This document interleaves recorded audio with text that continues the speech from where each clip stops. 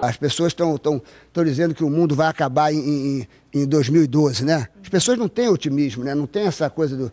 Eu acho que o mundo não vai acabar em 2012, vai acabar em 2010, entendeu? Porque.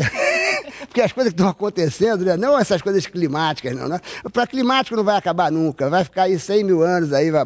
É que os fatos que estão acontecendo, né? Então eu, eu, eu, eu, eu pesquisei outro dia aqui que o primo do Saddam Hussein é o Barack Obama. É Barack Obama Hussein, você sabia disso?